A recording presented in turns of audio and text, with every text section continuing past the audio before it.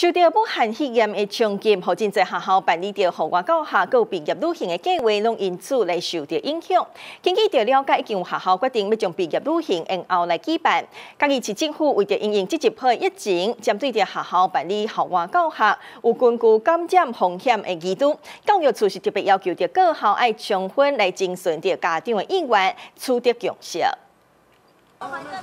随着感染人数增加，武汉肺炎疫情愈来愈紧张。开学之后，更有真侪家长烦恼会有根据感染，尤其是校外教学或者是毕业旅行，因为学生囡仔爱坐交通车，伫外口食物件，甚至是过暝，拢可能互感染的风险增加。所以，嘉义市政府教育处针对着学校办理着校外教学。有根据感染风险的儿童，要求着各校爱充分来询问着家长的意愿，取得共识。办理校外教学的学校应该爱落实防疫注意事项的规定，包括出发进前首先要求交通工具、带上旅馆、活动地点或者是场馆爱做好环境消毒，采行相关防疫措施。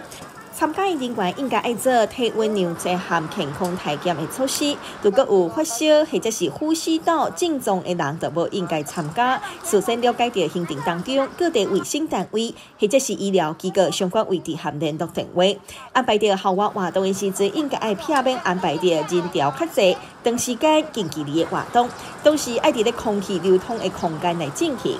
如果有近距离、密闭空间、长时间爱接触人群的时阵，即是需要伫上着最暗活动期间，逐工拢爱请参加的人员，包括着司机、领队、导游等等，拢得爱量体温。大概上车进前，所有人员爱做手部消毒，同时都是各项防疫工作来减少感染风险。最新新闻就定从王小帅家己去采访报道。